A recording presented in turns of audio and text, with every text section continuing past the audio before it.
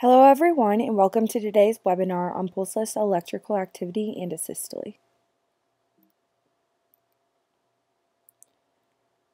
Pulseless electrical activity and asystole are related cardiac rhythms in that they are both life-threatening and unshockable. There may be subdural movement away from baseline, drifting flatline, but there is no perceptible cardiac electrical activity in PEA or asystole, excuse me. Always ensure that a reading of asystole is not a user or technical error. Make sure patches have good contact with the individual, leads are connected, and gain is set appropriately and the power is on.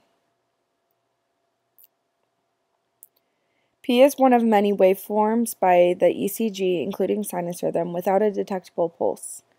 PEA may include any pulseless waveform with the exception of VF, VT, or asystole. Hypovolemia and hypoxia are the two most common causes of PEA. They are also the most easily reversible and should be at the top of any differential diagnosis. If the individual has return of spontaneous circulation, or ROSC, proceed to post-cardiac arrest care. Atropine is no longer recommended in cases of PEA or asystole. So the rules for PEA and asystole include regularity, the rhythm will be nearly a flat line. The rate, there is no rate. The P wave, there are no P waves present. PR interval, PR interval is unable to be measured due to no P waves being present. In QRS complex, there are no QRS complexes present.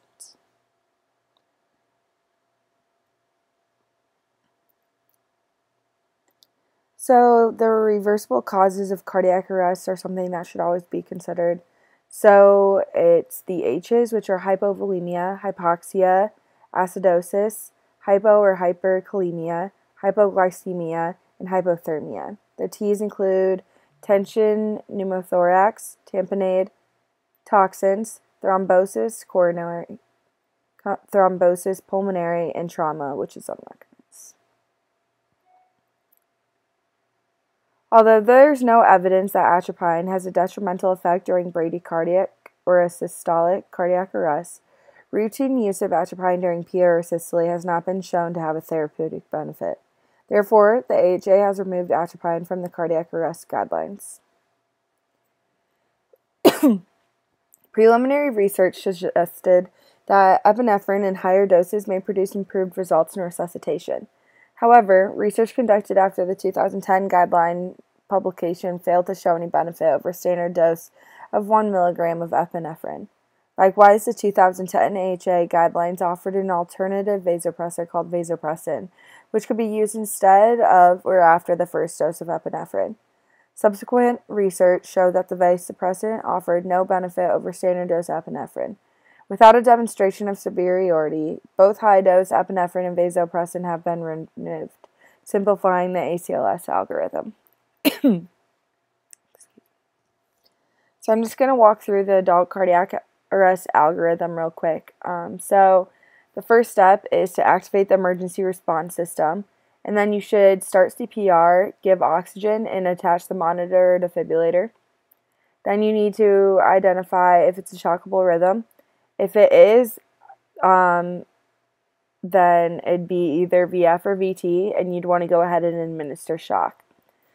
Um, and then go back to performing CPR for two minutes. Um, IV IO access without interruption and CPR if possible. And then you'll assess the rhythm again. If it's still a shockable rhythm, then you're going to administer the shock. Um, if it's not, then you are going to just continue a CPR and then in about two minutes check and see if the rhythm is shockable again. Um, if no signs of ROSC, go to step 10 or 11. If signs of ROSC, go to post cardiac arrest care. Then, if there was no shockable rhythm to begin with, then it's either asystole or PEA. That's when you're not going to shock. Um, you're going to just perform CPR for two minutes with epinephrine every three to five minutes. You should consider an advanced airway and capnography.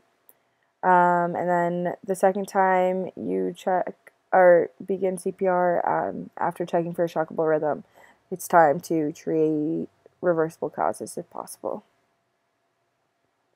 Don't forget, we offer online ACLS certification on our site. We encourage you to become certified as soon as possible, whether that be on your own time with an online course or in an in classroom setting.